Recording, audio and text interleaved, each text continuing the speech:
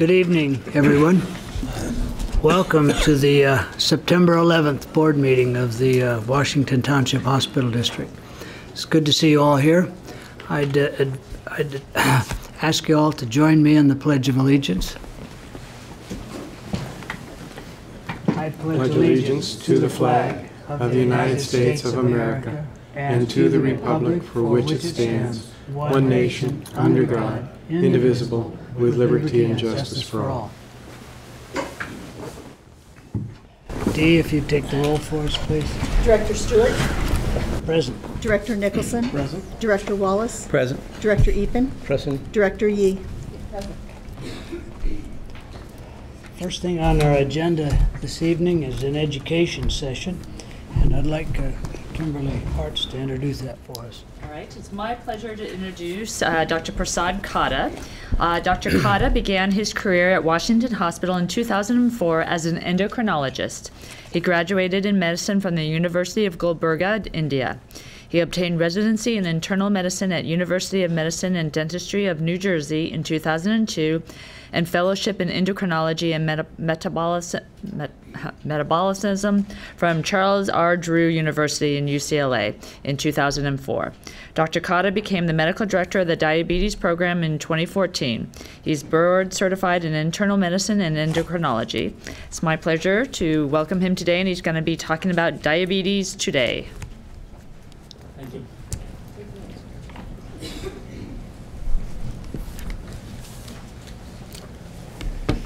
Okay, um, and thanks for the board for inviting me to give this uh, little presentation. So um, let me just uh, make sure. Yeah. Okay, so I'll be talking about the diabetes update uh, mainly in our uh, local population here and some in the uh, general population and about what drugs we are on and where we are. So diabetes in the Tri-City area. So I'll just uh, define the definition of diabetes. Look at it, it's a disorder of abnormally high blood sugar levels. Uh, it's either because of insulin defect, defective insulin production or its utilization of the insulin in the body. Insulin is uh, basically a hormone which is made by pancreas to regulate uh, blood sugars. So, what's the lifetime risk of diabetes for a person a person born in United States uh, in the year 2000? It's about one in three Americans after the year, born in the year after 2000 will be diabetic in their lifetime. And if you go down to Hispanics, it will be one in two, and it's two out of five for African Americans and Hispanics. So the prevalence of uh, diabetes in 2017, this is as per the CDC National Diabetes Statistics Report in 2017. About 30.3 million people are diabetic. That's about 9.4% of our population. Undiagnosed is about 7.2 million, so these people are still walking around without a diagnosis of diabetes, and most likely they're not on any medications. And pre-diabetes is about 84 million.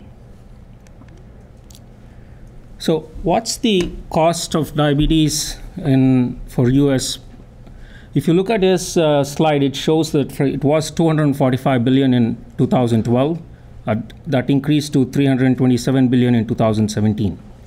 And if you break down the costs, uh, 43% is attributed to the hospital care.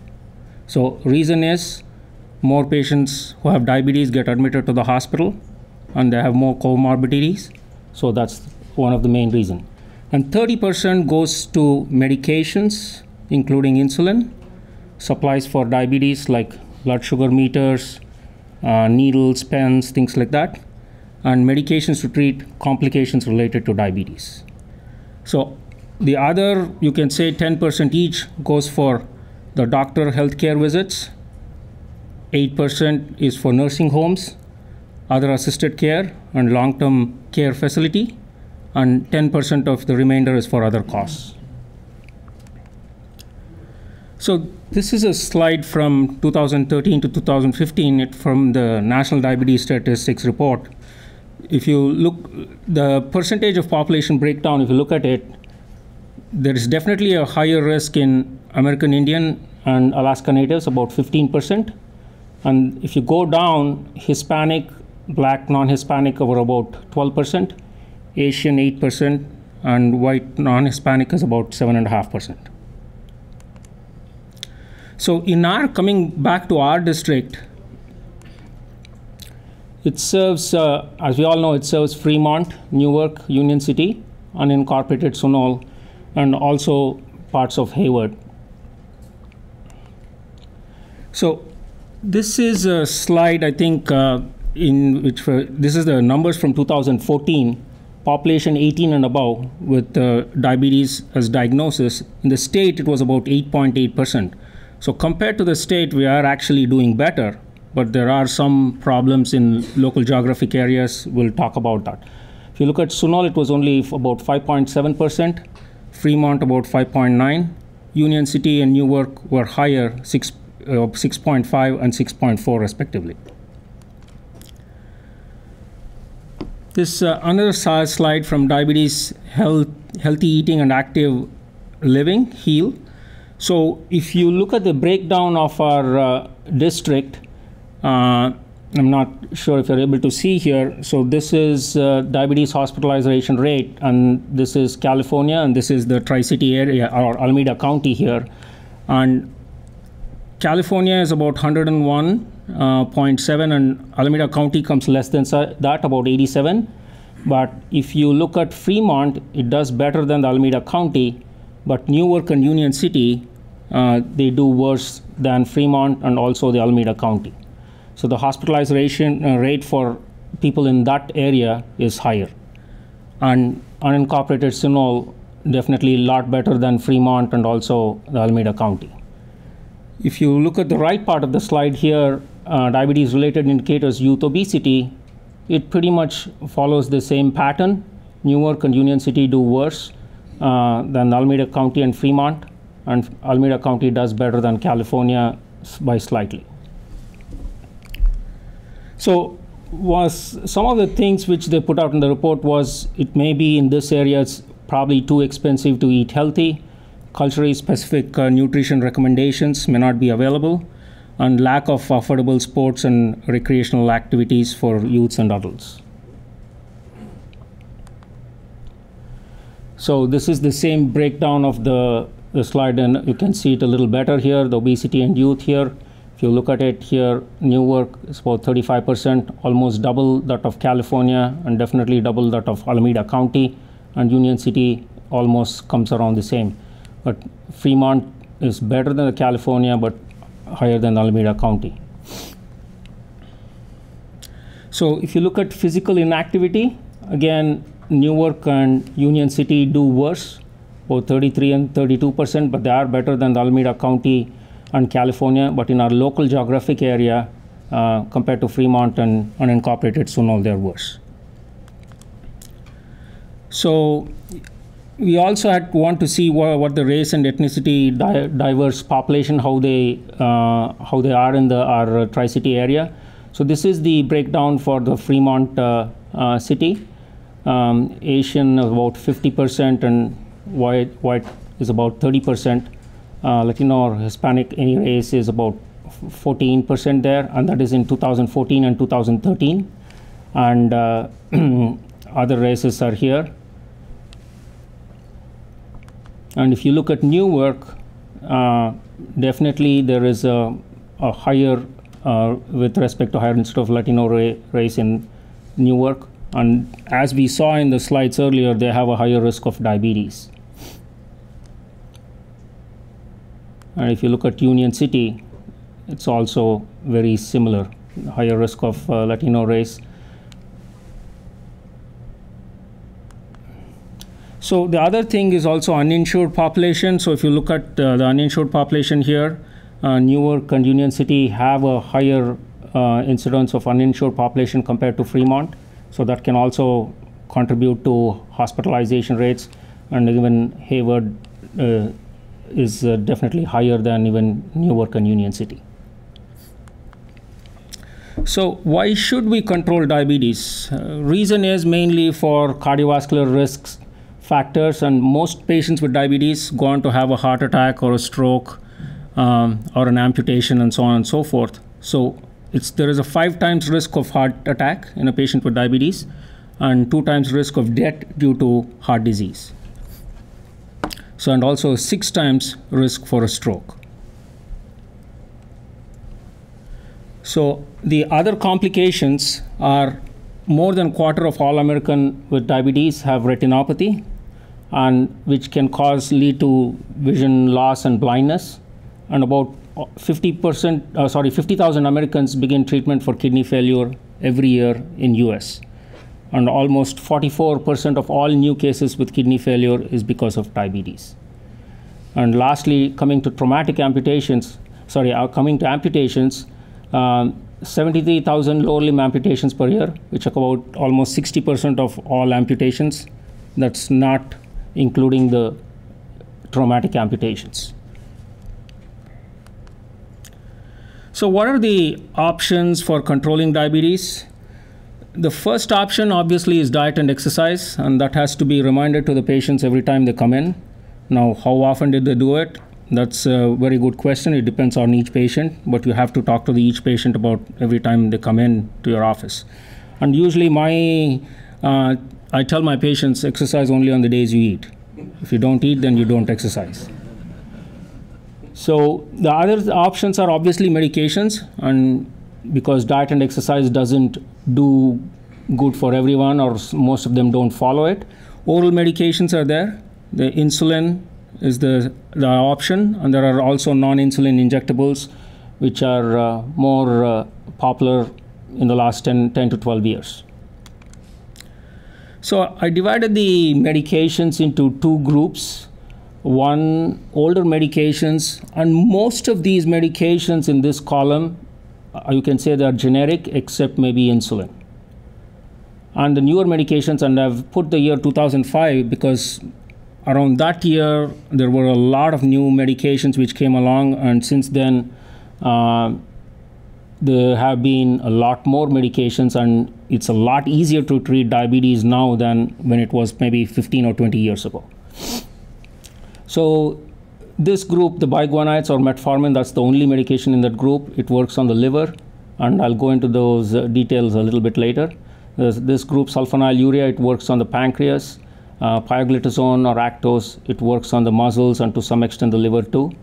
Uh, this group also, meglitinide group, that works on the pancreas too. Uh, the alpha glucosidase, we don't use this that much. This works mainly on your intestine to prevent less uh, absorption of the glucose. Um, and insulin, all of us know about that. Uh, the newer medications, these are the DPP4 inhibitors, which works indirectly on the pancreas. Uh, same thing with this. This is actually the non-insulin injectables, the GLP-1, which also work on the pancreas indirectly. Uh, this is a newer group in the last five to six years. It's come along, the SGLT2 group, that works mainly on the kidneys, actually to prevent the reabsorption of glucose. So that's like an innovative way to sort of treat diabetes. Uh, insulin, again, I put in here because there have been some newer insulins. And uh, there are a combination of insulin and also this, the GLP-1 group uh, that all, a couple of medications are available. And the last one is Cycloset, which also works on your brain and uh, control your blood sugars. So whatever I discussed earlier, this slide we call it as the ominous octet. It was uh, first coined by uh, an endocrinologist uh, in uh, Texas, uh, Ralph DeFronzo. So basically, he has, he, if you look at the different organs here, all these organs or pathophysiological systems, they do raise your blood sugars if you either have excess of something or you don't have some things for that reason. So now if you have obviously we know that pancreas produces insulin. If you have less insulin, that raises your blood sugars. And if you are not able to control your appetite because of these lack of these enzymes, uh, of the lack of these hormones, that again uh, causes high blood sugar. The glucose reabsorption, which I mentioned earlier, if you are absorbing too much of glucose back into your bloodstream, that causes high blood sugar. And glucose uptake and uh, utilization, that again um, by the muscle and also to some extent the liver causes high blood sugars. Um, and uh, if you don't, if you produce too much glucose because of the liver, one of the functions of the liver is to produce too much, is to produce glucose when you're not eating. That causes high blood sugar. And also these, uh, the intestine, these are hormones which indirectly act on the pancreas with help of these incretins um, to decrease the production of glucose from the liver and also increase the production of insulin. So that's the reason we need different medications and uh, we have to try and treat patients uh, if they're not controlled with one or two medications mm, we may have to change over or add on one or two different other medications and see them uh, so every three months or four months and then go from there so this is a busy slide and uh, this is an ADA schematic table. So I'll just uh, go over it uh, uh slowly and see um, if there's, uh, I'll definitely take questions later on. So the first usually what ADA says is go with metformin, which is the medication which works on the liver. Since recently over the last three years, there has been good amount of data that some medications, if you use them, they do prevent heart attacks and stroke in patients with diabetes. That was not the case until the last about three or four years ago. So, for that reason, what they have said is if you have had a history of heart disease or heart failure, so you have to think about those medication first line. So, why are we trying to tre- you know, treat patients with diabetes? To prevent heart attack and stroke down the line. So, for that reason, you have to use the GLP 1s and the SGLT2s. Uh, the GLP-1s work on the pancreas indirectly, and the SGLT2s work on the kidneys. So, if patients don't have that from metformin, you can go to any one of these the DPP4s, the GLP-1, the SGLT2s, or the TZDs. And if they are not controlled, you have to add on medications. So that goes on like this. If again, if you're only treating with respect to blood sugars and you also want to minimize hypoglycemia which is low sugars. So that's that's where when you want to use these medications. If you want to minimize weight gain and promote weight loss they again say you can use glp-1s or sglt2s because these two medications help patients to lose weight. And the last one if cost is a major issue for a lot of patients that is an issue. So then we'll have to metformin is a generic medication, then you can use sulfonylureas or TZDs, which are also generic. But usually they come with some caveat of they do gain weight. So again, the important thing here is, I mean, I'm not sure if you can see this, they say you need to prevent clinical inertia. So what that is is, as physicians and also as patients, they don't blame anyone. They say, if patients don't want to take medication, you have to ask them to come back and maybe take take some time. Okay, three months. Okay, tell them three months later on. We'll have to discuss if you do if you're not at goal. We'll have to add in a new medication or do something else, because that's clinical inertia. And a lot of times, the clinical inertia happens because of the patient, and it can also because happen because of the physician. If the physician doesn't want to start a medication. And this is the American Association of uh, Clinical Endocrinology guidelines which is uh, they uh, have actually been more uh, forthcoming and what to say to be they have been ahead of the ADA I should say for a long time. And uh, they basically have said if you look at these green lines here the length of the green line basically represents the how effective the medications are if the longer and darker the green line, then they're more effective. So as we saw in the last slide, we said the first two ones we have to probably use after metformin is the GLP-1 and the SGLT2s. And it's pretty much the same here, the GLP-1, SGLT2, because they think these medications are more effective in treating diabetes and also they do prevent heart heart attacks and strokes in these patients in the long run. So if, they don't work and if your A1C is less than 7, uh, uh, then that should be 7, 7 and a half, that should be fine. If not, you add on a second medication, if not a third medication.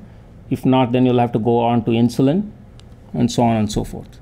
Again, they do say if you have to use TZDs and sulfonylureas, there is an issue with weight and low blood sugars, and those are the things uh, we'll have to talk to patients when they come in. So, as uh, patients, what what do they need to ask their physicians? They definitely need to ask about their A1C I'm sure most physicians are telling patients about their A1C, and this needs to be checked probably every three months if they're not controlled, and if they're controlled, maybe every four months to six months should be fine. And the A1C goal for most patients is less than seven, um, if possible, even less than six and a half, because uh, younger the patient and if they don't have any other comorbidities, we want them to be less than six and a half. So, how do we sort of explain A1C to a patient? Basically, hemoglobin A1C is you, it, you're checking the the sugar content on the hemoglobin. So, sugar content on the red blood cells. So, this is a normal red blood cell uh, with the sugar coating here. So, this is, let's say, a diabetic patient with a sugar coating. So, there's a lot more sugar on the red blood cell. So, what we are measuring is basically the sugar content on the red blood cell of the patient. And since the lifespan of the red blood cell is about 90 to 120 days, you have to do it every three to four months. Uh, so, every three months, if not control or adjusting medications, and every four to six months, if stable or if you're not adjusting medications. Again, where should your A1C be? We, we discussed that seven, better six and a half. And if you go down, you don't want patients to be 9, 10, 11, or 12 or 13. We are okay with, even with patients who have comorbidities and other things. You're okay with maybe seven and a half, eight, or if they live alone. I'll, I'll come to that. Uh, I think that's probably the next slide. Um, the goals for uh, sugars, if you look at it, the American Diabetes Association says A1C, uh, sorry, uh, blood sugar of less than 130 before eating, and after eating should be less than 180. And for the American Association of Clinical Endocrinologists, it's 110 and 140. So this is the slide I was talking about. So if your risk is low, you want to be more stringent. So what does this depend upon? It depends upon so many different factors. One is the disease duration. If you've had diabetes for 30 years, then patient, patient may not be that motivated. And if they're not, you would want to sort of be less stringent with them than um, be more stringent. And if potentially associated hypoglycemia, low blood sugars, again, you have to be less, less sort of stringent than more stringent. Life expectancy is long, then you want to be more stringent. If your life expectancy is few years, you know, then you have to be less stringent. Again, comorbidities like uh, uh, like say renal failure or heart disease, if they're absent, you're being more stringent. If you're they're present, then less stringent. And uh, patient attitude, expected treatment efforts, and also resources and support systems. If you have an old lady who lives by herself and she's taking insulin four times a day, you want to be definitely less stringent. And if, if you have support system, someone lives with her all the time, then probably a little more stringent.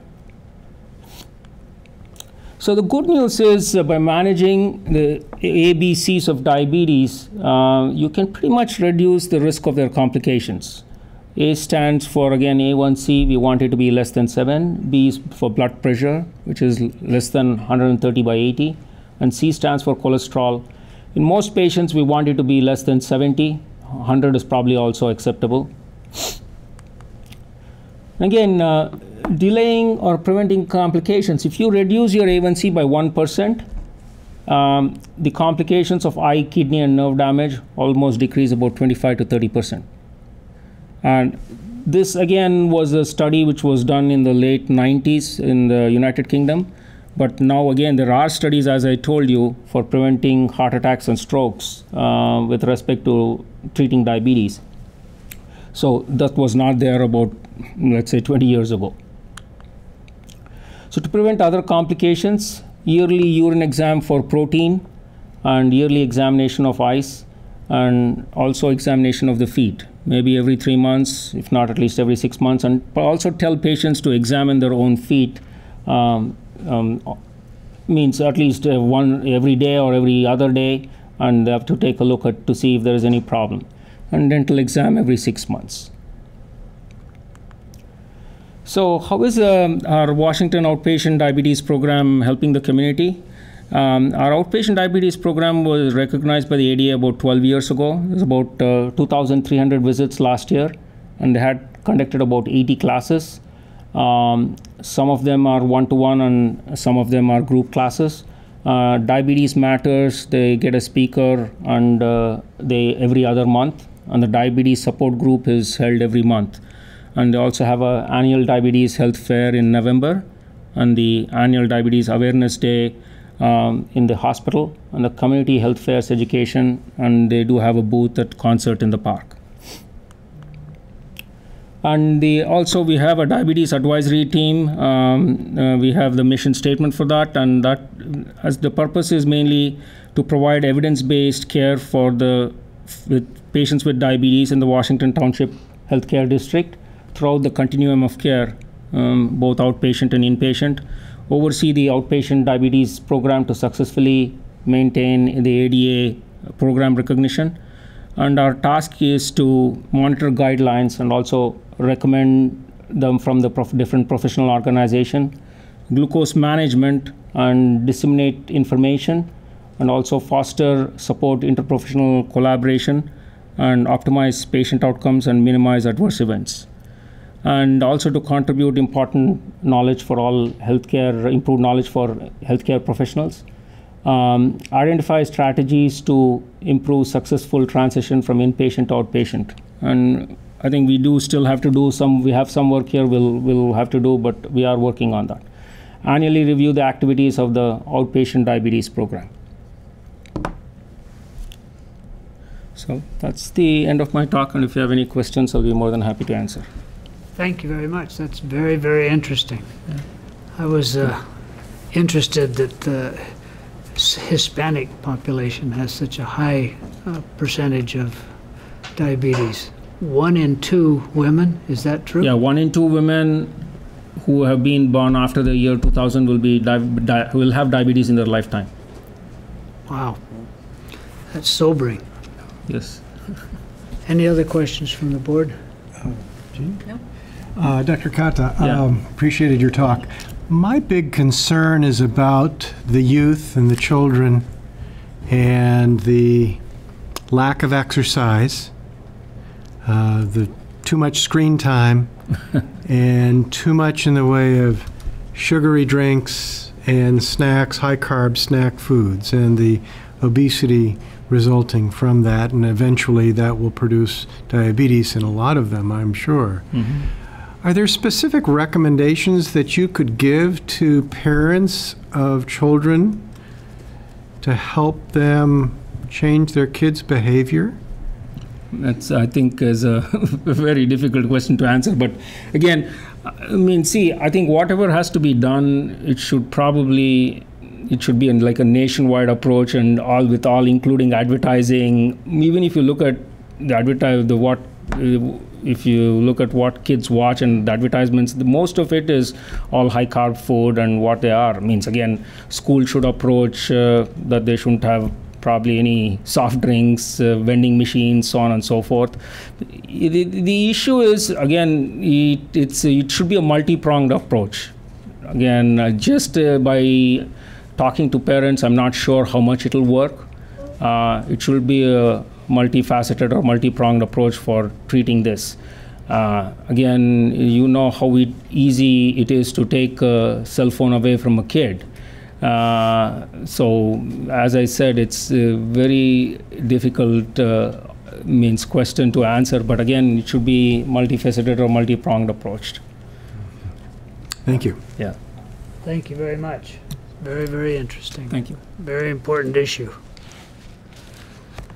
We'll now have a consideration of minutes uh, for August 14th, 19th, 26th, and 28th of uh, 2019. Do I have a motion on that? So moved? S- Looking for a second. Second. We have a motion and a second. Dee, if you would take the roll on approving those minutes. Director Stewart, Aye. Director Nicholson, Aye. Director Wallace, Aye. Director Eapen, Aye. Director Yee. That motion passes. Thank you. Uh, It's time for communications. Uh, Are there any oral communications this evening? There are not. Thank you. We'll now go to our written communications and Dr. Killaroo, our Chief of Staff. Thank you. We have two uh, new applicants uh, for initial appo- uh, two-year appointment. Uh, First is Dr. Duck Min Tran, emergency room physician. Um, And the second is Dr. Elizabeth Trevathan. Uh, She's an internal medicine hospitalist joining the Palo Alto Medical Foundation. We have no one-year reappointments. We have Amanda Best, a cardiac perfusionist, asking for temporary privileges.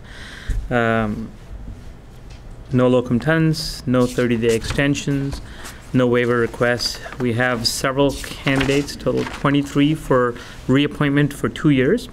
Dr. Natasha Balin, pediatrics, Dr. Archana Bindra, endocrinology, Dr. Sanjay Bindra, cardiology, Dr. Michael Brook, pediatric cardiology, Dr. Patrick Burke, pediatrics, Dr. Demetra Burrs, OBGYN, Dr. Mark Kokalis, pediatric cardiology, Dr. Chiara Espiritu, pediatrics, Dr. Crystal Avey, internal medicine, Dr. Peggy Feng, pediatrics, Dr. Benjamin G, diagnostic radiology, Dr. Tracy Hune, interventional cardiology, Dr. David Jackson, telemedicine, Robert Leatherbury, cardiac perfusionist, Dr. Walter Lee, pediatric cardiology, Dr. Christopher Ma, podiatry, Dr. Lindsay Matthew, internal medicine, Dr. Derek Obayashi, pediatric cardiology, Dr. David Pang, orthopedics, Dr. Matthew Pantel, pediatric hospitalist,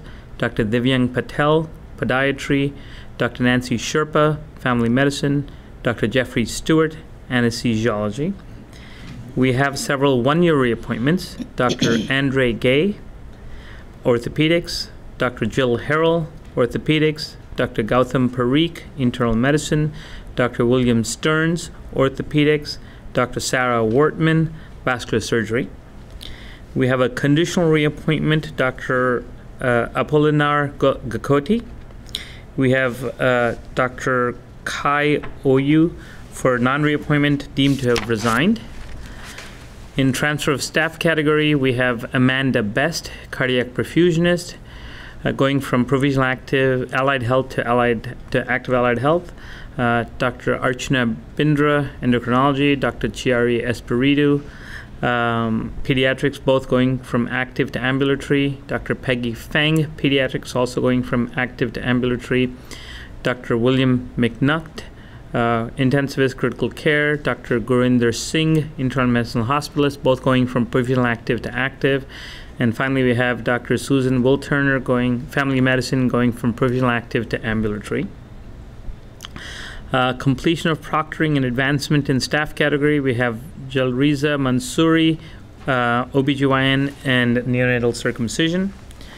Uh, we have no new privileges requested. We have several physicians deleting privileges. Dr. Sanjay Bindra in cardiology, Dr. Dimitra Burr, OBGYN, Dr. Andre Gay in orthopedics, Dr. Tracy Hewin in intervention cardiology. Dr. Andre Gay, Dr. Gautam Parikh, and Dr. Jeffrey Stewart all updated their conflict of interest statements. We have reinstatement from leave of absence uh, Amanda Best, who's coming back from her maternity leave, cardiac perfusionist. And finally, resignations, we have Dr. Niti Doshi, pediatric hospitalist, Dr. James Fields, internal medicine hospitalist, Dr. Narayana Gunda, internal medicine hospitalist, Dr. Uma Kantamaneni, internal medicine, Dr. Sung Hoon Kim, pediatric surgery, Dr. Richard Long, urology, Dr. Mihir Patel, internal medicine hospitalist, and Dr. Michael Stevens, internal medicine hospitalist. Do I have a motion for accepting the medical staff? So moved. So moved. Do we have a second? Second. Motion and a second. We'll take the roll. Uh, Dee, if you would do that. Director Stewart, Aye. Director Nicholson, Aye. Director Wallace. Aye. Director Eapen. Aye. Director Yee. Aye. Motion passes. Now, now move to our Service League report. Ruth, it's good to see you. Good to see you. Good evening.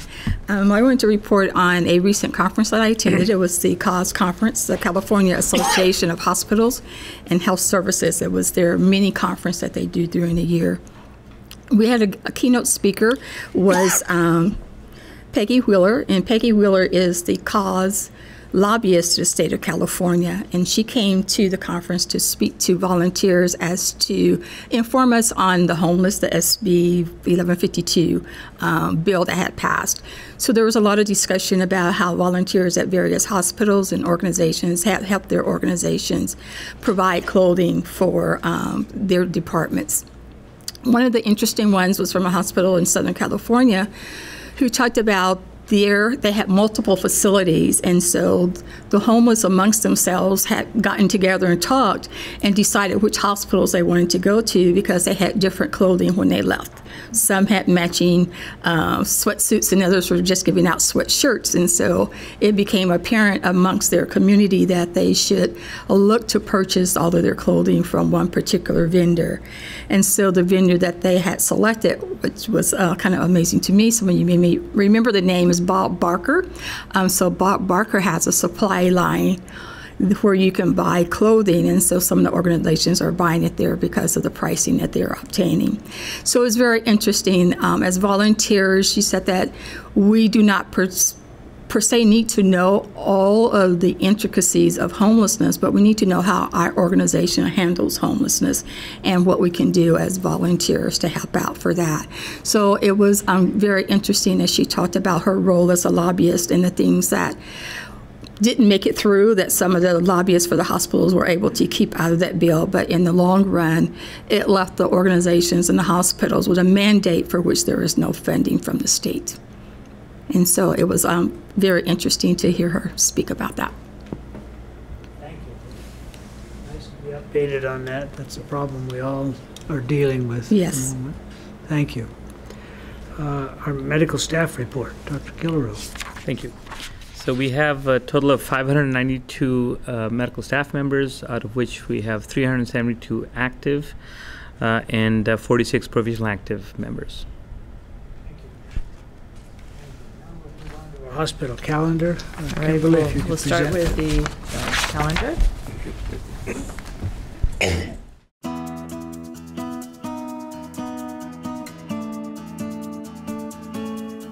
Past health promotions and outreach events. The 2019 Central Park Summer Concert Series, presented by Washington Hospital Healthcare System, concluded on Thursday, August 15th with an estimated attendance of 3,500. This free six week concert series was open to the public and held at the Central Park Performance Pavilion on Thursdays from 6 to 8 p.m. Washington Hospital provided health information. Also on Thursday, August 15th, as part of the Women Empowering Women series, Dr. Victoria Leaphart, gynecologist, presented Don't Let Arthritis Slow You Down. 12 people attended. On Wednesday, August 21st, Dr. Victoria Leaphart presented Laugh Without Leaking Understanding Female Urinary Incontinence. 18 people attended. On Thursday, August 22nd, Dr. Stephen Zahner, family practice and sports medicine specialist, presented Concussion, the Invisible Injury, as part of a professional development session for the Fremont Unified School District Health Services team. 20 people attended. On Monday, August 26th, as part of the Women's Health Strategies for Wellness series, Dr. Vanessa Wilson, internal medicine, presented Depression More Than a State of Mind. 19 people attended. On Thursday, August 29th, Dr. Natalie Tett, intensivist, and Dr. Shaker Srinivas, emergency medicine, presented Learn the Signs and Symptoms of Sepsis. 28 people attended. In 2014, Washington Hospital was designated as a baby friendly hospital by the World Health Organization. Washington Hospital is committed to supporting new breastfeeding mothers and their babies. On Wednesday, September 4th, the Birthing Center received the redesignation announcement demonstrating the continued dedication to delivering the best possible care for mothers and newborns. On Thursday, September 5th, the Washington Hospital Food and Nutrition Services Department donated 42 cases of food items to the Alameda County Food Bank. Did you know patients with peripheral vascular disease, PVD, have a higher rate of early mortality? Today, approximately 50% of patients who have PVD also have vascular blockages elsewhere in the body. The risk factors for PVD are similar to those for heart disease and stroke. aging, family history and cardiovascular disease, smoking, diabetes, high blood pressure, and high cholesterol. If left untreated, patients with PVD can develop serious health problems, including heart attack, stroke, renal artery disease, and amputation. Diagnosing PVD can be as simple as performing a painless, non invasive Doppler ultrasound investigation of the patient's leg circulation. On Saturday, September 7th, Washington Hospital hosted a peripheral vascular disease screening event. This free screening included a Doppler study. Dr. Ashjane, cardiologist, and vascular surgeons Dr. John Thomas Mahegan and Dr. Sarah Wortman provided interpretation of results. This event was co sponsored by Fremont Bank Foundation. A total of 57 people were screened. Of the 57, five were found to have possible arterial disease of the lower extremities, and 15 were found to have other vascular issues requiring follow up. On Monday, September 9th, as part of the Women's Health Strategies for Wellness series, Dr. Stacy Berry, Obstetrics and Gynecology, presented Women's Health Through the Years Screenings Key to Aging Well. 17 people attended. Upcoming health promotions and community outreach events. On Thursday, September 12th, from 6 to 8 p.m., Dr. Timothy Orlip, ear, nose, and throat specialist, will present Suffer from Sinus Problems? On Tuesday, September 17th, from 3 to 5 p.m., Dr. Jennifer Chan, thoracic surgery, will present Learn the latest treatment options for gastroesophageal reflux disease, GERD. On Wednesday, September 18th, from 6 to 8 p.m., Christy Caracappa, Health Insurance Information Service Coordinator, will present New to Medicare What You Need to Know. On Thursday, September 19th, as part of the Women Empowering Women series, Dr. Victoria Leaphart and Father Jeff Finley, Palliative Care Coordinator, will present the Five Wishes Advanced Care Planning. On Monday, September 23rd, from 6:30 to 8 p.m., as part of the Women's Health Strategies for Wellness series, Dr. Stacy McDonald, Obstetrics and Gynecology, will present Reproductive Health: Planning for Pregnancy. On Thursday, September 26th, from 6 to 8 p.m., at the Washington Township Medical Foundation Nakamura Clinic Conference Room in Union City, Dr. Victoria Leaphart will present Healthy Gut, Healthy You. On Tuesday, October 1st, from 10 a.m. to noon, Christy Caracappa will present Medicare Open Enrollment What You Need to Know. On Thursday, October 3rd, from 7 to 8 p.m., as part of the Diabetes Matters program, Anna Mazet, RD, will present Asian Fusion. This presentation will explore modifying traditional recipes to make them healthier without losing their distinctive flavors. On Tuesday, October 8th and Tuesday, October 15th, Melissa Reyes, RN, will provide a two part education series on stroke. Part 1, Stroke Prevention, will educate community members about prevention, symptoms, and what to do if you are experiencing signs of a stroke.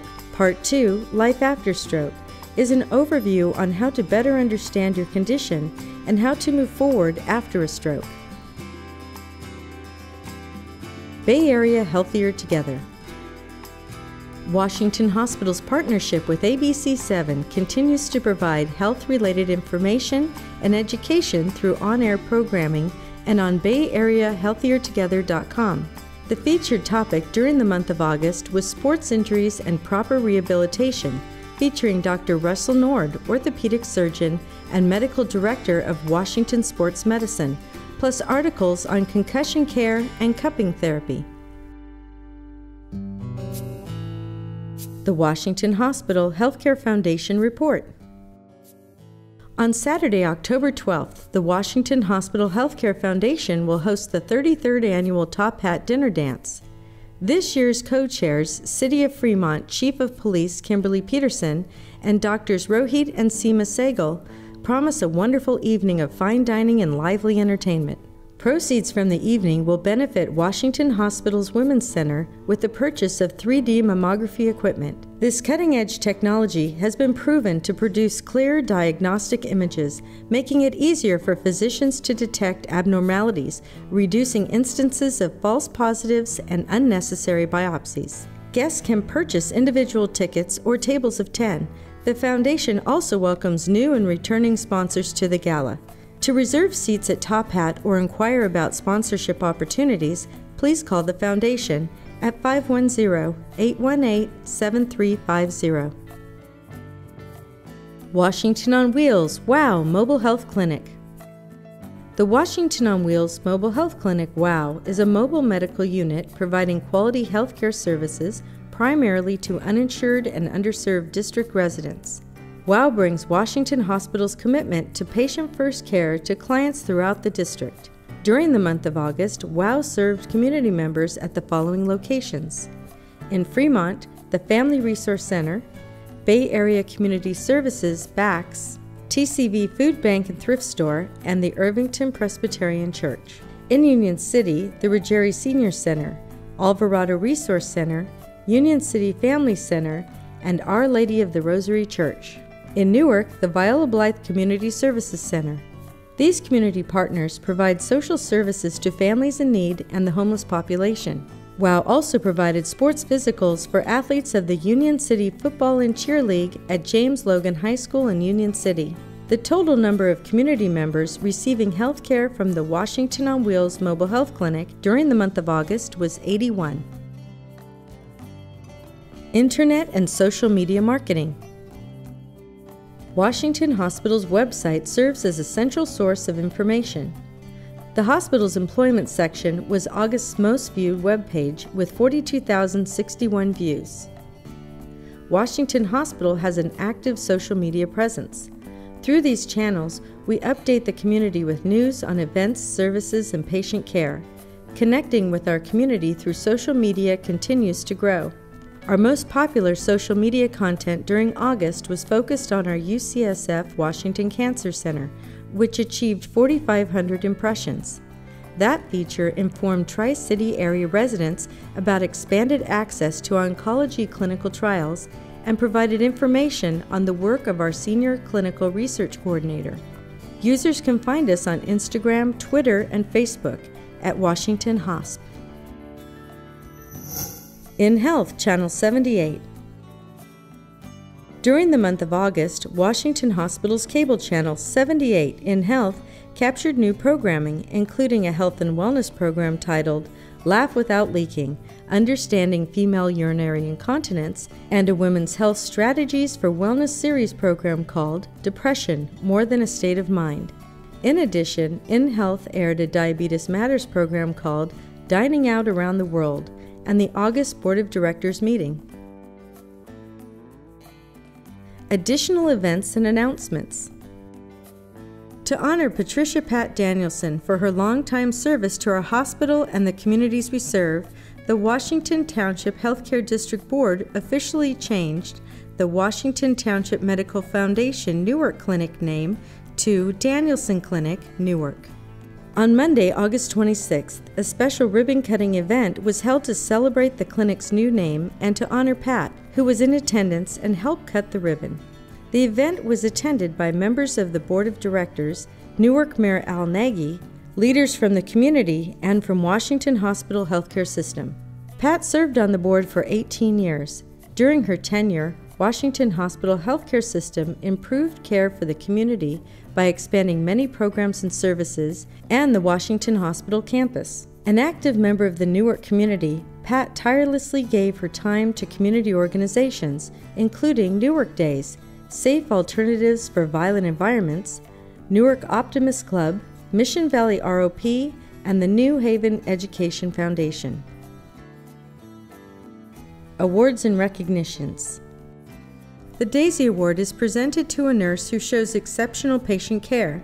A special award was presented to the team of 3 West. DAISY is an acronym for Diseases Attacking the Immune System.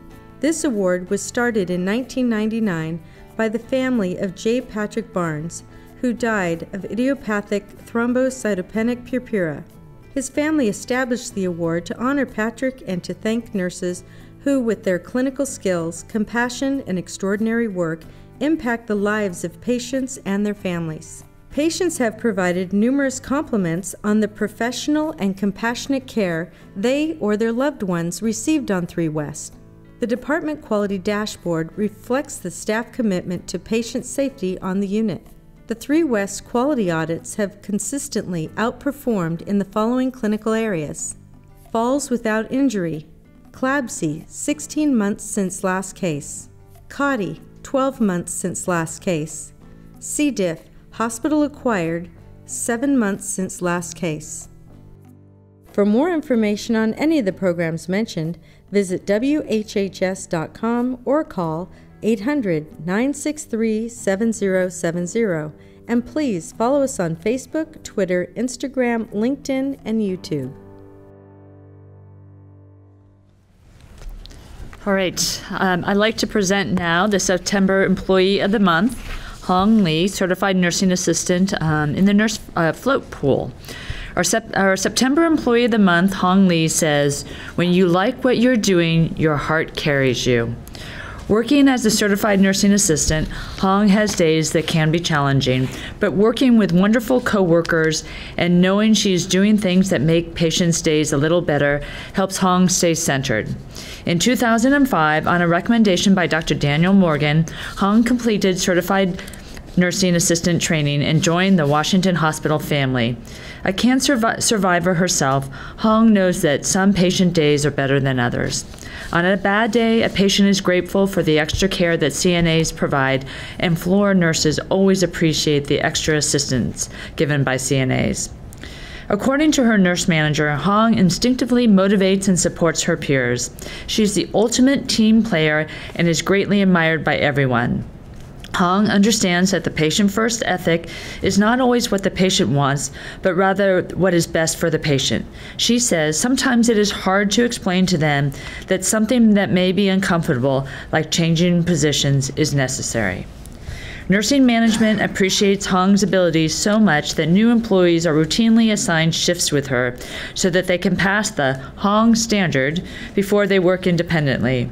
When Hong says they are ready, we feel confident new staff members will be successful in their role. Hong and her family came to the Bay Area from Vietnam when she was 10 years old.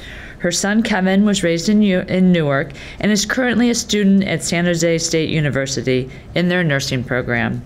Hong and her son enjoy fishing, crabbing, and taking walks with their dog, Salty. Both at work and at home, she feels she has a lot to be thankful for.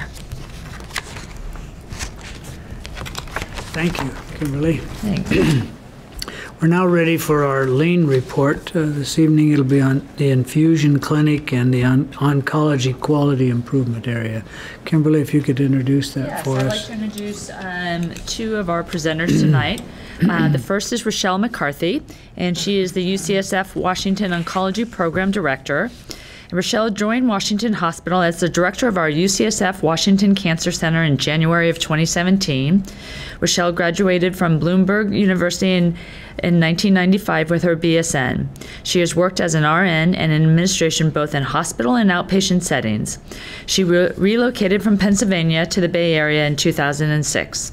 Rochelle has a strong desire to bring exceptional cancer care to the community setting. Our next presenter uh, is Sherry Kellen, and she's the Infusion Center nurse manager. Sherry has worked for Washington Hospital for 26 years as a certified nurse assistant, unit clerk, and transporter before pursuing her nursing degree. She became a registered nurse in 1999, graduating from Ohlone College with an associate degree in nursing.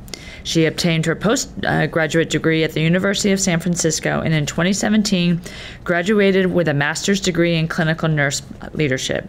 She developed a passion for oncology nursing while working in the inpatient oncology unit, received her certification in oncology nursing, and transitioned to the outpatient infusion center when it opened in 2011. She has recently moved into the role of nurse manager at the infusion center and is working towards a certification in lean. So, I want to introduce both of them. They can begin.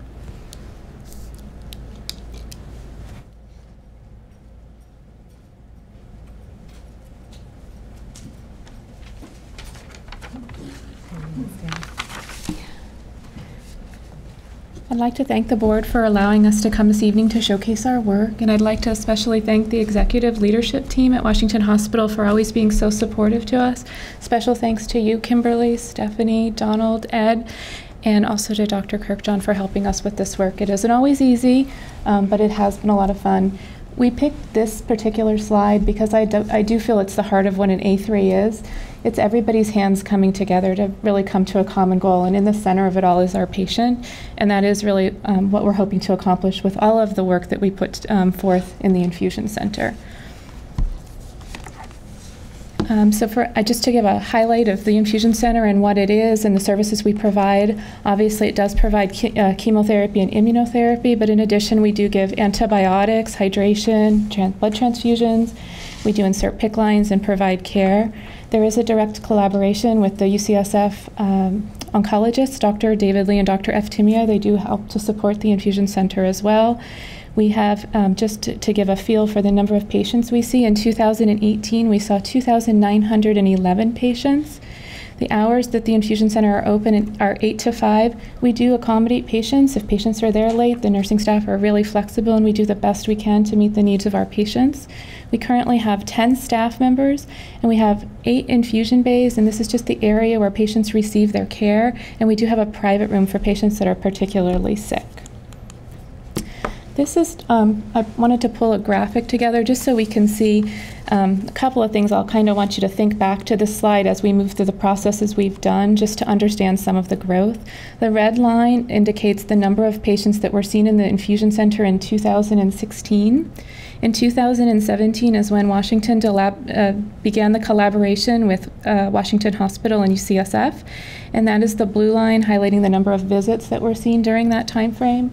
And then the purple line would be 2018, and then the green line is 2019. So when the collaboration began, our goal was really to provide the highest level of care to the patients in the community and really to expand services and uh, hopefully to grow the program. And so we have been successful in growing the program.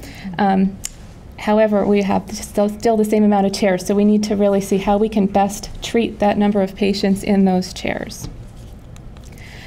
So we wanted to um, talk about some of the process improvement we did and really highlight what A3 thinking is. And for anybody that's not here, I just wanted to kind of explain it.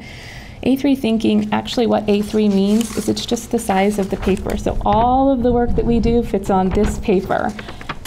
Um, what we, it is is really coming to a problem that you don't know a resolution to and understanding it so well that the process works itself out. And so it's nice when things work well and it's nice when things go into place, but a lot of times there's a lot of work and revision that go into these processes.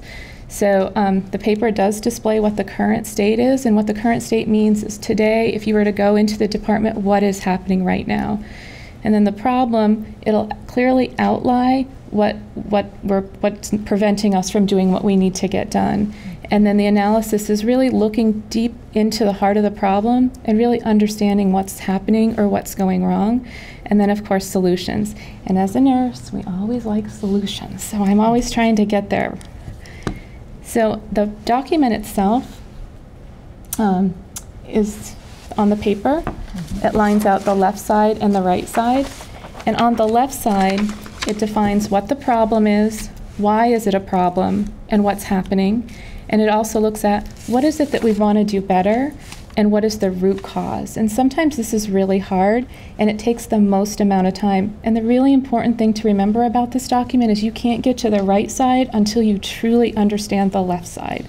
And then once you get to the um, to the right side, you're looking at what can we try, what are our countermeasures, what can we learn, and then um, the other thing to really keep in mind, it really follows the Plan, Do, Check, Act. And so as we're looking at it, we're constantly looking at it and making changes. It's really dynamic. It's not a static form. We can't put it into place and say, this is what we're going to do and it's going to work because we really don't know what's going to work until we work through it. And so, what I really like about this process with the lean methodology is it's not, it takes out a lot of um, personal feelings and it really takes out a lot of subjectivity and really lets a whole entire team come to a problem and try to figure out what might work and what might not work. And sometimes when you're looking at that problem, I'll be the first person to say, I'm like, oh, I don't think that's going to work. But we wouldn't know if we don't try. And so it really takes a lot of teamwork. And it really, I think, really fosters teamwork and builds teamwork. And Sherry has been the manager there, but before that, she was the charge nurse, and she has always exemplified what that leadership is. And I really want to thank Sherry for all of the support and pro- um, she's provided to the program. And the, there's an exceptional team. If anybody that's ever encountered the infusion center, I've never seen nurses so driven and so passionate about really wanting to do what's best for patients. And I think that's what drives a lot of our process improvement and really what drives nurses to want to continue to do better for their patients. And so this is just an example of um, our A3 on the top right hand corner is the one that we started and initiated. And then oftentimes, um, I think as we look at a problem, we find that it's not just one problem, they're problems that kind of build off of another problem. Mm-hmm. And so sometimes when you do process improvement work, it does lead right into another process improvement work. But that's part of growing and I think part of moving on. And so, with that in mind, our first project that we looked at is um, we've started to hear from some patients when they were there that they had come to the infusion center and they felt like they were waiting for a period of time before their medication arrived. And so we felt that it was really important to look at that problem. And so, starting all the way back in 2017, we first identified that problem and we've put a lot of work into place. And we continue to put a lot of work into place. As we're growing, we're finding it more challenging to meet that turnaround time because we're seeing more patients and really trying to turn patients over in a timely manner. And so it really took a thoughtful analysis, and there were a lot of causes that were actually leading to that. And so we drilled down to the causes. We, um, there was no standard orders for some of the patients receiving chemotherapy, so every time a patient would come in, the physician would handwrite each order. It was individual, they had to be written with each visit. It was very time consuming and very tedious, and there wasn't a lot of counter checks. And so one of the things that we looked at was really improving to make sure that we were delivering care not only quickly but also safely. And uh, we didn't have a pharmacist that was just oncology specific when we first started. And so, as part of our growth, we'll highlight some of that as well. And just for everybody to know what we were really targeting, what was really important to us, is making sure that we had a appropriate turnaround time, meaning that patients within an hour their treatments would be initiated and that they would be treated um, with the best care we could possibly give, and really all along the bottom line, making sure that our patient satisfaction was never harmed. The infusion center has one of the highest satisfactions in the hospital, and the nurses there strive really hard to make sure all of the patients are always treated with respect. And so, as far as improvement work that was implemented, we did um, with the thanks from the board and all of the administration, we did implement Beacon, which is a really safe, effective electronic medical record upgrade, which helps us with all of the orders and um, it helps the physicians. It, it's um, really improved safety and time for the pharmacists. We do have a dedicated oncology pharmacist, and we also have um, uh, implemented within the system. Another thing we encountered a lot is there were a lot of phone calls back and forth, and the phone calls were leading to interruptions. And then it's hard once you get a phone call then to go back to exactly where you were. And so we implemented within Epic, we implemented a dot system and it, we could put notes back to each other where then the person could see it timely, but it wasn't impacting their care that they were actively doing. And then we have regular communication with pharmacy and really just a lot of communication with everybody the physician and the pharmacist, and really just opening the dialogue up. And so this is a, a little highlight of our improvement work. Like I said, we started in 2017 with some of the process improvements, and it did take us some time to meet our goal, and we're doing great here and then we had little hiccups here, um, but we're doing great overall. One of the nurses around here said, When can we stop measuring it? I said, We really can't because part of process improvement is we continue to want to monitor and make sure that we don't slip backwards. And then we looked at patient satisfaction. Our patient satisfaction scores has remained above the 95th percentile. But what we really wanted to look at with this project we found in the beginning in 2017 that we read every single patient satisfaction comment. The patient's experience is really important to us. So every comment that was written, Sherry and I went through, and there were seven comments that were actually negatively related to wait time, that they felt like they were waiting extended periods of time and wanted us to really work on that. And then in 2018, there were three, and 2019, zero. But actually, it's even better than that. We had three favorable comments that they felt like there was no wait time. so I think it was a great win. But as part of this process and improvement, it did lead us to a second problem. When we changed one thing, it led us to the next. So, Sherry? Mm-hmm. Thanks, Rochelle. Mm-hmm. Um, thank you, everybody, for having us tonight. I did what Rochelle had said. It's been um, nice to be um, in a community or in a workplace that's very supportive. So, thank you. Okay, so as Rochelle was saying, one project led to another project, and um, one of the, our goals was, of course, to decrease the time patients were waiting for their medications. And with that, um, one of the ideas came from one of our huddles from a nurse said, why don't we um, get our supplies ready ahead of time? You know, have them ready for the patients when they're waiting, their medical supplies. So um, that started a process of looking at that. And then um, the, one of the issues that we discovered later on downstream, though, uh, some of the charges were being missed on um, and were not being applied to the patient record. Um, so then we started the A3. We initiated that in January of 2019. Um, and so, when, as Rochelle was describing, the A3 problem solving and the analysis began. Um, we found that it was multifactorial. It, there was a lot of contributing factors. Um, just to give you a little background, before 2019, um, we implemented two processes to which the nurses could get supplies out of the Pyxis and kind of bypass the check-in process, and so to get them out quicker. But that kind of caused some downstream effect, um, and so we found that uh, charges weren't being reconciled correctly. Um, there was a large amount of work that had to go into um, correcting charges for the medical supply charges. Um, we found that there were incorrect uh, codes and charges attached to some supplies, like charges from the supply Pyxis um, would go to the Epic, and they they weren't always correct. Um, and again, there was just a large amount of rework that had to be done, hours of rework to get these um, correct the errors before the patients were billed. Um, so we came up with some targets. We wanted to um, have the nurses to be able to um, use the supplies that they were using at the bedside and then also just um, be able to put the charges in at the point of care. And also, we wanted to come up with a, a target. We decided um, to have that target be le less than 5% incorrect or missed charges um, per month and then that would, um, and also that would be before um, the patients were billed, so requiring um, rework, so less than 5%. So um, during uh, all of our improvements and our PD, uh, you know, the plan, do, check, uh, act cycles of lean, we had all of this going on simultaneously. We developed a new charge capture system in Epic. Um, as part of the regular flow of, of Epic work for nurses at the point of care. We updated codes in Epic so there was more accurate charging.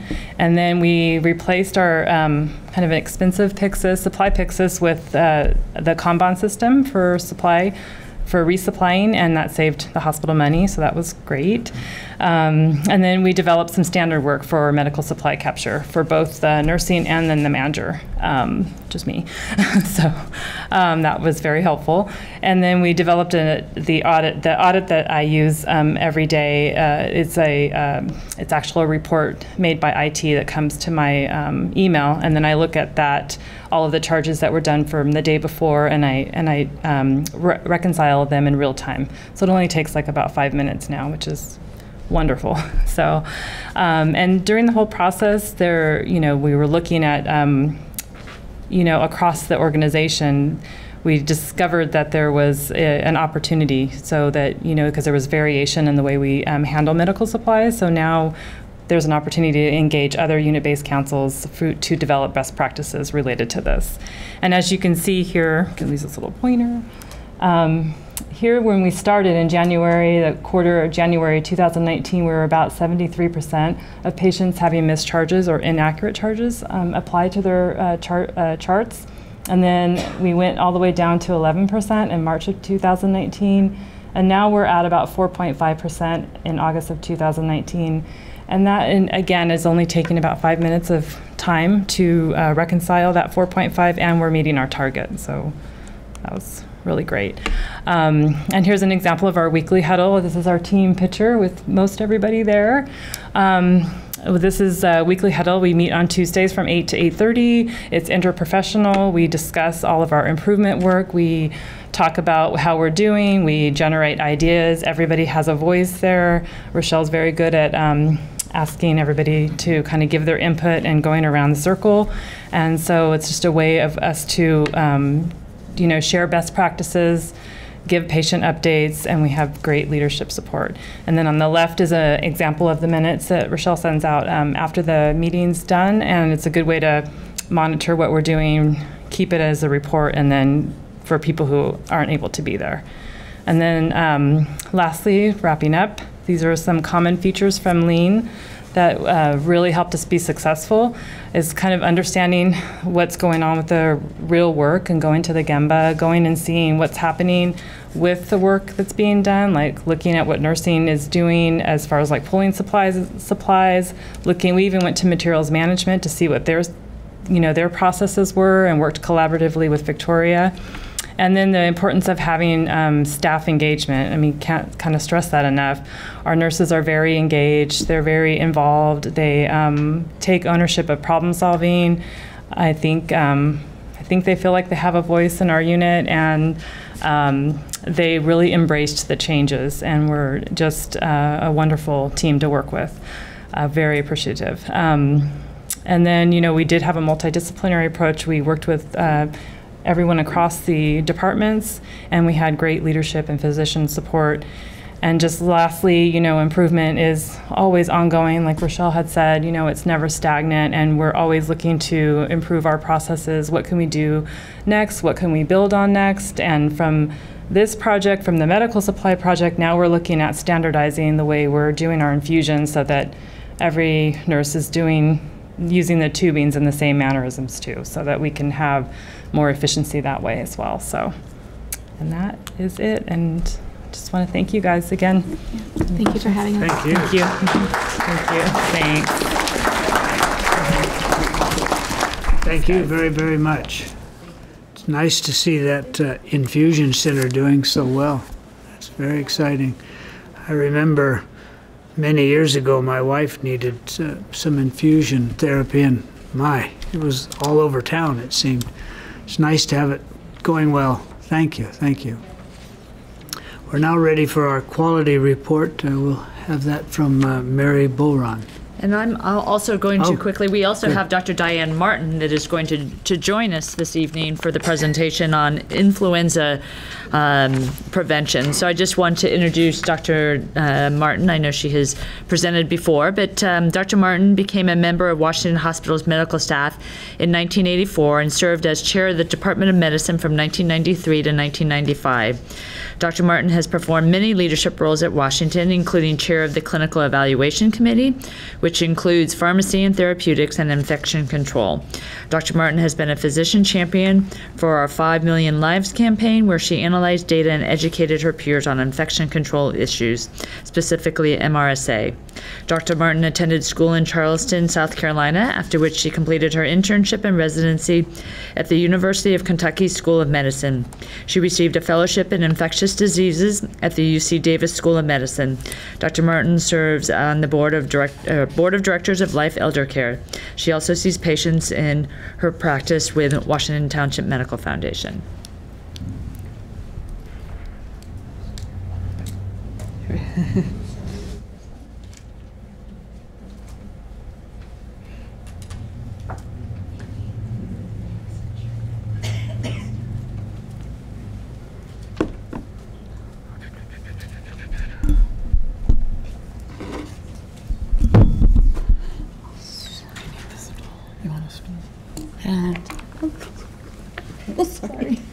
I just know that it's easier for you. Okay. Just a little short. That's a good thing. Okay. You want to do the slides? So you can do it, okay. Um, So we wanted to present to you the information, updated information on influenza vaccine and prevention. Uh, So we're going to run through a number of slides and then take questions at the end if you like. So people want to know what is influenza. So influenza is a virus that causes respiratory infections, and most people use just the word flu, um, but it's highly contagious. It's very severe in certain populations, especially the elderly, the immunocompromised. In the United States, the flu season runs October through March. In Alameda County, we see it run a little bit longer, October through April. Most people get influenza and get sick, lasts about two weeks. Um, however, people who are more seriously ill, have underlying other medical problems, can get much sicker. So we think that approximately um, 50 million people will get sick with influenza. About 22 million will need to see their healthcare provider. Almost a million will need hospitalization, and upwards of about 79,000 actually die from influenza. Influenza spread through air or touch or droplets. For coughing, sneezing, uh, close contact, people can be infected by touching an object or a surface that has the virus, and then when they touch their face, mouth, nose, then they transmit the virus to themselves. The flu can spread even if you are personally not feeling sick because symptoms may not show up for another 24 to 48 hours after having been infected. Most common symptoms are fever, chills, sore throat, runny or stuffy nose, body aches, and fatigue. Other complications that are obviously much more serious, and we see in immunocompromised people, elderly or the very young, and obviously pregnant women as well.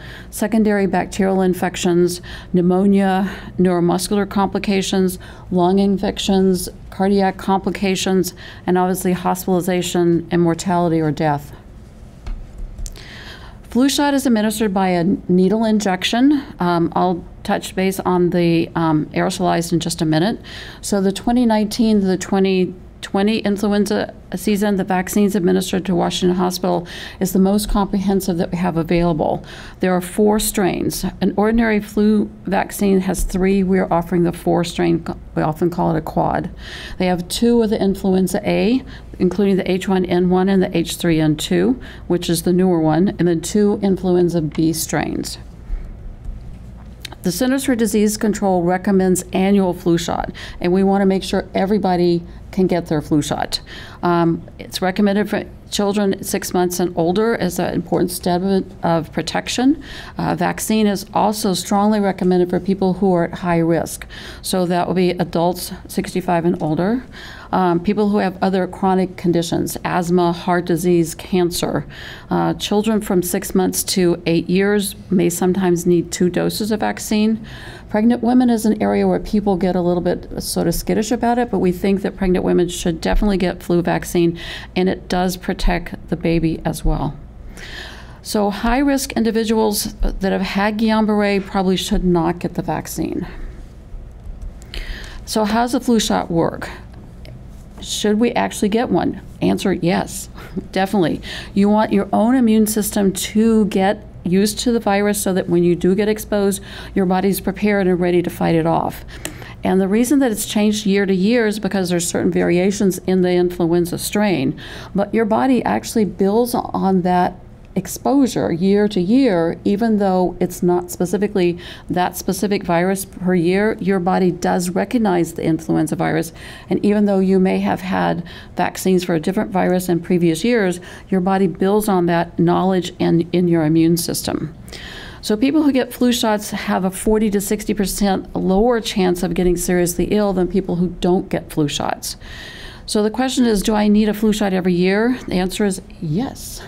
So it's designed to protect against the most common viruses, and again, they change from year to year, um, and we try to predict it along with CDC to figure out which is the most likely virus for this year. We recommend that people start getting the vaccine in October. Vaccines are effective throughout the year. It generally takes about two weeks to develop an immune response. So even though you may put off getting the vaccine in October when we'd like for you to, it's never too late. So whether it's October, November, December, January, never too late. So can, people want to know, can the vaccine give me the flu? The answer is no. Uh, there's no live virus in the shot. So people do sometimes get some side effects. They may get a little bit of a, um, a fever or muscle aches, but those sometimes people mistake for the flu, but it's not influenza. In rare instances, individuals can experience a little bit of discomfort, fever that may last for up to two days after the vaccine. Usually, symptoms are obviously a lot less serious than if you got influenza yourself. Flu vaccines, again, are updated with the latest strains that we try to predict based on CDC guidelines. Um, obviously, as I said, one of the A's is different, and the other A is the same as last year. The other vaccine that I alluded to is not an injectable one, it's a nasal spray. Um, most of the infectious disease groups do not recommend this unless it's specifically why they can't take an injection. So it is approved for non pregnant patients two years to 49. And there are certain people who should not get the nasal spray because of a weakened immune system. So, in general, we don't think that the nasal spray works as well. If somebody is truly risk avoiding getting an injection, it's certainly better than nothing. People with egg allergies should talk to their doctor specifically because that's not a total contraindication to getting the influenza vaccine. And as I'll notice in a minute, there is a recombinant vaccine, which is specifically um, safe for people who have egg allergies. So, currently, Washington Hospital, what are we doing? We're screening and vaccinating all eligible patients, all eligible patients. Flu vaccines available seven days a week at our urgent care. We have mandatory vaccination or proof of vaccination in 100% of our healthcare workers. So, Washington Hospital's patient first ethic we want to protect ourselves, we want to protect our patients, and it's mandatory. If declined, we require that they do mandatory masking, again from October to April, and this is also in conjunction with recommendations from Alameda County. We provide an annual flu blitz that we're going to be starting in a couple of weeks where we reach out to all of the employees. We have clinics that we hold um, daily at different shifts so we can uh, encounter everybody who's working on different shifts. And we also have a cart that goes around to the floors and makes sure that we get everybody vaccinated. Prevention is also very important. My favorite subject is hand hygiene. So, washing our hands is a very good prevention against influenza. Vaccine, obviously, better, but hand hygiene never hurts. Wearing a face mask. If you're sick or you're coughing or your coworker is coughing, hand them the mask. We have masks at the front desk of the hospital, the urgent care clinics, all the WTMF clinics have masks right at our front desk. As soon as somebody walks in with coughing, we very gently hand them a mask. And pediatrics does this with these little teeny tiny masks, so everybody gets a mask. So we do regular evaluation and analysis of our employees that get vaccinations. This is done on a quarterly um, evaluation and also monitoring anything that looks like influenza that's coming through the emergency department. So the Joint Commission has also taken this on as a very serious measure. So they wants to make sure that it's considered prime importance, so they made it a measure that we adhere to. So inpatient discharges six months or older, screened and vaccinated prior to discharge in the October to March, or in our case, April months. Alameda County has also taken this on as a serious measure, and that they want to see how many of our hospital personnel have been vaccinated each flu season. So the Healthy People 2020 has targeted a 90% vaccination rate for the healthcare personnel. As you can see, Washington Hospital, patient first, we are there. So the red line is the 93%, and below that, the 90%, we're at 98. So Washington Hospital is there for our patients and there for each other. This just tells you the breakdown. So by our employees, we have between 90 and 92 percent. We have about 8 to 10 percent that decline for various reasons, and they are obviously mandated to use a mask anytime they're in patient um, areas. If they're in the cafeteria or they're outside, they're not required to wear a mask, but anytime they're in a patient area, they're required to wear a mask. So what can we do? What can an individual do? Obviously, get the flu vaccine, get it every year. Practice good hand hygiene. Cover your mouth if you're sneezing, wash your hands frequently. The flu is a virus, so going to your healthcare provider and asking for an antibiotic is not going to work for influenza. There are specific influenza antibiotics, but regular antibiotic, penicillin, Keflex, those things will not work for influenza. So again, you can get the influenza vaccine through our urgent care, which is open 8 to 8. Um, and then also we have walk in flu clinics uh, Monday through Friday, 11 to 4, and Saturday, 12 to 4. Appointments are not needed. Um, there are cash discounts, otherwise, uh, 100% coverage by Med- Medicare, and most of the insurances also cover influenza vaccine.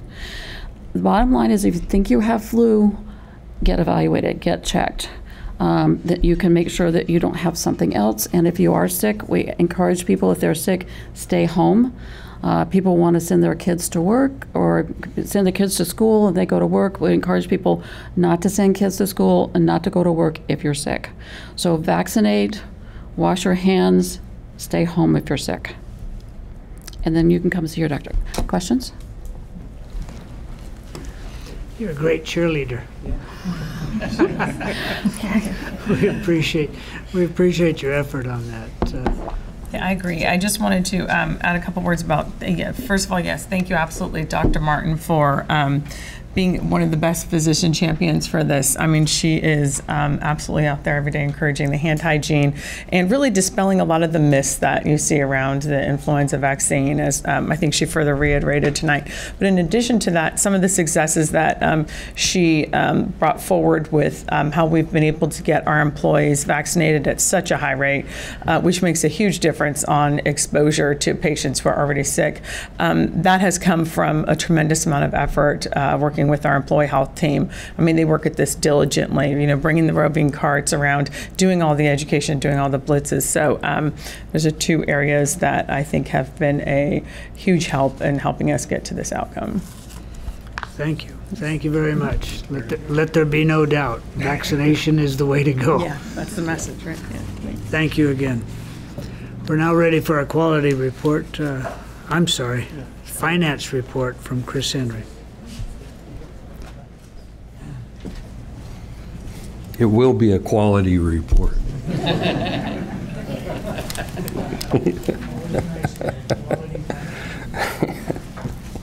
okay, so tonight we'll be looking at uh, the operational financial results for Washington Hospital for July 2019, the first month of our fiscal year.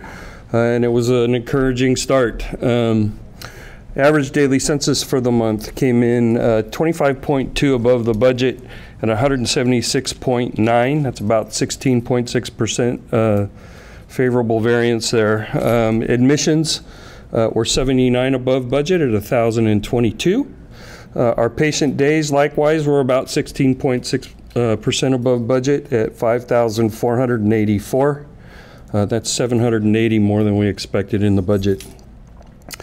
Outpatient observation equivalent days for the month came in 11 above the budget at 177, and our average length of stay based on discharges uh, came as expected, came in above budget uh, given the other uh, the admissions and the uh, patient day numbers. Our average length of stay came in at 5.29. We'd expected 4.99.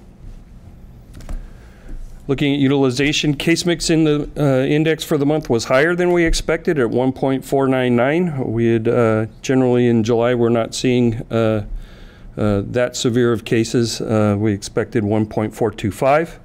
We had uh, deliveries for the month came in at 137, just one below the budget. Um, pretty good number based on what we've been seeing.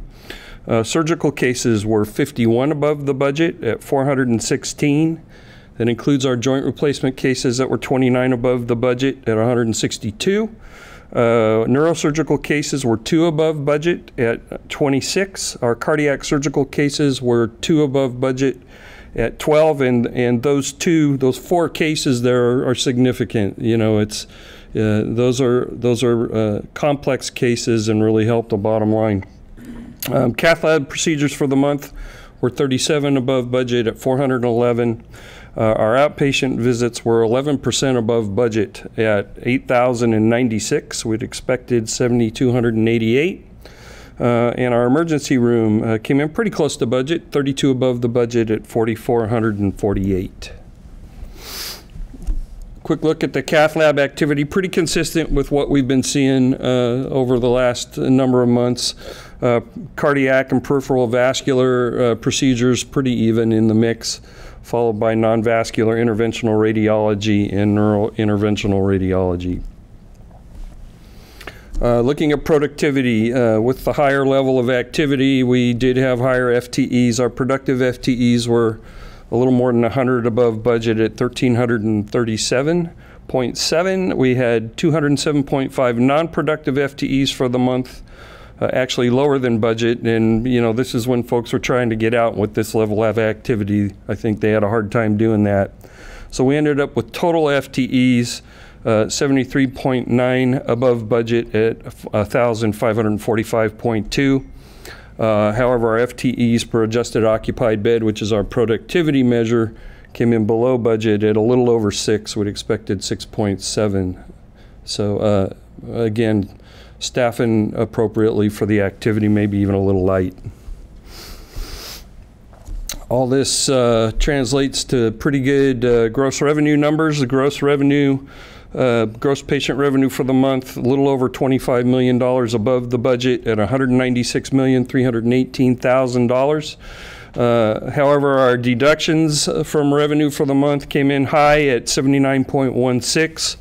Uh, really uh, was due to payer mix. Um, uh, and a lot of it occurred in the contractual area. The, the mix of governmental uh, sponsored patients, Medicare and Medi-Cal, was higher than expected in the budget, uh, and the offset to that was that PPO was lower than budget. And it doesn't take big moves in that to translate into into some pretty big dollars. Um, we did have some help from our provision from for bad debt and charity. Uh, you know, uh, with gross revenue being above budget 14.7%, you'd expect that to follow. It actually came in below budget 4%, so that really helped out. Uh, uh and again, our total deductions uh, coming in at 155.4 million, about 22.6 million over what we had expected. But again, that's that's on a 14% increase in gross revenue. Um, so we end up uh, March uh, coming up with uh, net operating revenue actually about 2.5 million dollars above the budget at 41,340,000 dollars. Operating expenses for the month came in a little under 1.7 million dollars above budget. Have a couple of offsets going on there. Um, uh, as you would expect, our salaries and wages were above budget, about 1.1 million with the higher FTEs. Um, and we had to use some overtime, you know, to make up for that unexpected volume. Um, our supplies were about 810,000 above the budget with, you know, the increased uh, level of activity in the OR and the cath lab. Um, uh, purchase services and pro fees offset that by about 112,000, largely driven by lower um, professional fees. You know, uh, our um, we provide um, some guaranteed incomes on our uh, our pediatric diagnostic clinic, the oncology service. You know, we have the, with our agreements with UC and the special care nursery, and um, the those fees are offset by the amount of billings that are collected uh, by the professionals, uh, and those have been higher than expected as the vo- their volumes have grown. They've offset those fees. So uh, a large part of that $112,000 resulted from that. Um, our, our uh, also offsetting that was our marketing uh, costs. They were $68,000 below budget, and I think this early in the year, that's just a timing difference that we'll probably see uh, make itself up later in the year. So we ended up with operating income, and again, we're looking at our governmental accounting standards board presentation. Um, uh, operating income about $846,000 better than budget at a, a million uh, 208,000 and uh, I just want to note that's about 3.1 million dollars better than our results for July of 2018 on that operating bottom line. So some pretty good improvement month to month and hopefully we'll continue to see that during the year. Um, Non-operating income for the month uh, actually came in at a $320,000 loss. We uh, that's about uh, $258,000 uh, greater than we expected in the budget. We did have a $301 a $391,000 unrealized loss on our investments. So we end um, July with a total bottom line from a GASB perspective uh, almost $600,000 better than budget at $888,000 take a quick look at the Financial Accounting Standards Board format. This is how Wall Street might adjust the financials we just looked at uh, when they do an analysis of us. They would reclassify um, uh, the uh, revenue bond portion of our interest expense back up into operations. Uh, they would remove that unrealized loss on our investments and our tax revenue and the related interest uh, related to the general obligation bond debt service. Um, so we would end up with operating income about $922,000 better than budget from a FASB perspective at $432,000. Non-operating income pretty close to budget at $582,000 and a total bottom line uh, $920,000 better than budget from a FASB perspective at a little over a million dollars. So, are there any questions on on FASB and GASB? Quick look at EBITDA. That's our earnings before interest, taxes, depreciation, and amortization. And and uh, again, we try to isolate out um, the non-cash. Uh, portions of the income statements you just saw, uh, as well as the interest expense to figure out how much income the operation is providing to cover the interest expense and uh, additional capital uh, and routine spending.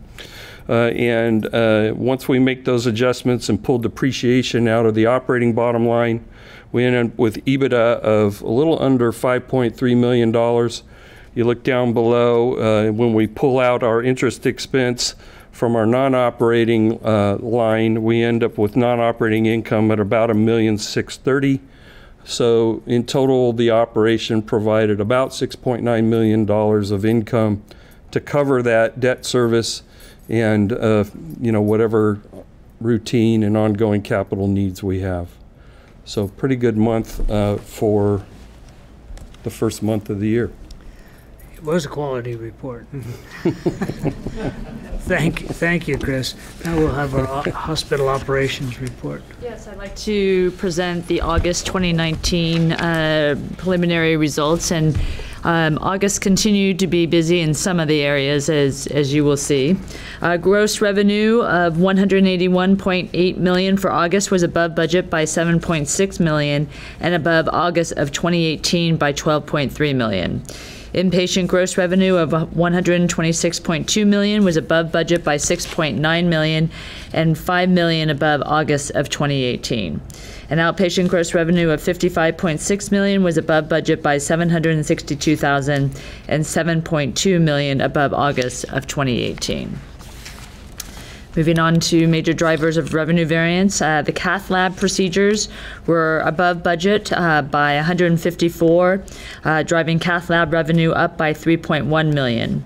Inpatient days were above budget by 263, driving room and board revenue up by 2.3 million. The higher level of inpatient activity drove ancillary services revenue above budget by 2.3 million. Our key uh, census statistics, our average length of stay of 5.45 was above the budget of 4.93. The average length of stay was longer than the August of 2018 um, average length of stay of 4.75. Outpatient observation days were 26 above budget at 194, um, and observation days were 23 above August of 2018 and the average daily census of 162.5 was above the budget of 154.0 by 8.5, and the average daily census was 10.6 above August of 2018. Uh, emissions uh, were on budget at, at nine, 969. Chris says this happens maybe, how often? Once in Probably, probably three years. Once in three years. In the last 20. I asked that question because I even, a, So- even a broken clock. exactly emissions for emissions for the month were 36 below August of 2018. Uh, patient days of 5,037 were above budget by 263, and patient days for the month were two, 327 above August of 2018. Looking at our surgical trends, uh, total surgical cases in August of 390 were slightly above the budget of 387. Uh, surgical cases were 22 above August of 2018. Inpatient surgeries were 22 above budget at 244 and 4 above the August 2018 volume. Lastly, outpatient surgeries were 19 below budget at 146, but 18 above August of 2018. Uh, More specifically, looking at our surgical activity, our joint replacement surgeries were below budget by four. Um, And they were, uh, joint replacement surgeries were four below August of 2018. Our neurosurgical procedures were below budget by one, um, and they were, neuro- neurosurgical procedures were two above budget of, uh, compared to August of 2018. Our cardiac surgical procedures were above budget by three, and they were cardiac surgical procedures were seven above budget, above um, August of 2018. And then our general surgical procedures were above budget by five, and they were 17 above August of 2018. Looking at cath lab trends, um, cath lab procedures uh, for August of 514 were 154 above budget and 167 above August of 2018. Inpatient cath lab procedures were above budget by 128 at 328 and 141 above August of 2018 but, um, actuals. Outpatient cath lab procedures were above budget by 26 and above the prior year by 26. In terms of the specific cath lab activity, neurointerventional radiology procedures were on budget at five and four above August of 2018 volume. Cardiac procedures were below budget by eight and 16 uh, below the um, August of 2018 actuals. Non-vascular interventional radiology procedures were above budget by 34 and 15 above the August of 2018 volume. Peripheral vascular procedures were above budget by 128 and 164 above for the same period last year. Our deliveries uh, for August were 144, uh, which was above the budget by four, and deliveries were four below August of 2018's uh, budget. Looking at our non-ER outpatient trends, um, non-emergency outpatient visits of 8,185 were above budget by 507. Uh, these visits were above the August of 2018 um, volume by 372. Uh, you can see our, our infusion uh, center visits were above budget by 97. You saw some of that in the, the previous presentation. Our lab visits were above by above budget by 175, and X-ray visits were above budget by 240. Looking at our emergency room visits, um, they were 4,252, which were below the budget by eight, but were above the same period last year by 199 visits. Our uh, preliminary productivity indicators um, show that our productive FTEs were above budget by 82.7 at 1,348.6, uh, given our higher uh, volumes. Our non-productive FTEs were below budget by 9.5 at 179.9. So our total FTEs, uh, 1,528.5, were above budget by 73.2. Our productive FTEs per adjusted occupied bed um, of 5.76 uh, were above the budget of 5.63 and our total FTEs uh, per adjusted occupied bed of 6.53 were very close to the budget of 6.47. Looking at some of our other operating um, operational statistics, Washington Outpatient Surgery Center had 586 cases in August. This was 47 above the budget of 539 and 81 above the August 2018 volume. Clinic visits of 3,483 were below budget by 51 for the month of August, but 258 above the August 2018 volume. Our Washington urgent care was 109 above budget. Nakamura Clinic 77 above budget. Our Warm Springs Clinic had a couple of physicians that were off and was down by 131 visits. Uh, our preliminary payer mix, um, as you can see, for the month of August, government-sponsored patient revenue made up 71.1% of total gross revenue, which is below the budget of 71.4% and below last year's percentage of 72.3%.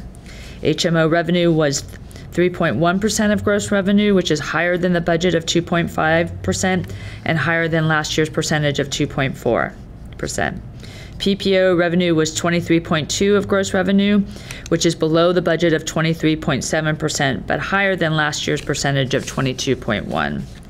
And private pay uh, revenue was 2.6% of, rev- of gross revenue, which is higher than the budget of 2.4%, but lower than last year's percentage of 3.2%. Our key financial uh, statistics, our days cash on hand uh, for August ended at 158 days, an improvement of three days from last month. Uh, Days of gross revenue and accounts receivable were at 54, and there was $845,460 in charity care applications pending or approved uh, in August, which was um, below that of the prior month. And lastly, our summary of um, homeless patient activity. There were 144 homeless patient encounters in August of 2019. Um, homeless patients with more than one encounter enc- uh, accounted for 40 of the 144 encounters. Estimated incremental cost of Senate Bill 1152 for the month of August is 54,000 approximately. Estimated total unreimbursed cost of homeless care for the month of August is 153,000. Estimated total unreimbursed cost of homeless care for fiscal year 20 year to date uh, is 846,262. And that's the month of August. We now have two action items uh, to consider. Uh, Mr. Wallace will present those. Uh, Item A, Uh, Mr. President, um, in accordance with district law policies and procedures, I move that the Board of Directors authorize the Chief Executive Os- Officer to proceed with the purchase of the Shimadzu Digital Portable uh, for an amount not to exceed $152,404.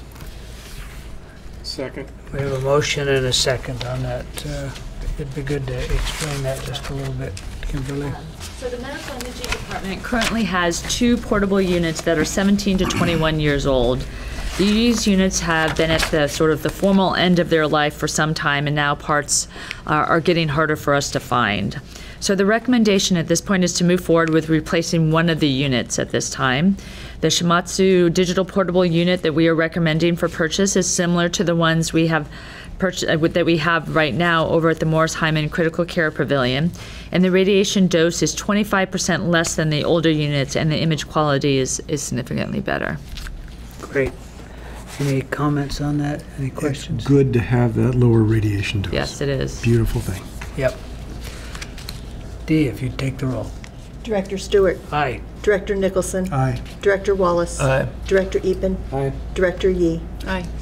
That motion passes. We'll move to item B. Mr. President, in accordance with district law, policy, and procedures, I move that the Board of Directors authorize the Chief Executive Officer to enter into the necessary contracts and proceed with the purchase of software and implementation services for a total amount not to exceed $786,411.